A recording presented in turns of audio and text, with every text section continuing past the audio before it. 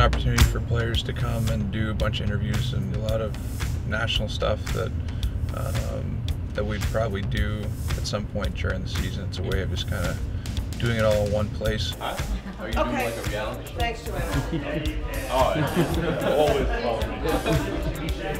Why you following me, huh? Approximately one year from today, the puck will drop on the 2016 World Cup of Hockey. From the Penguins, Sidney Crosby.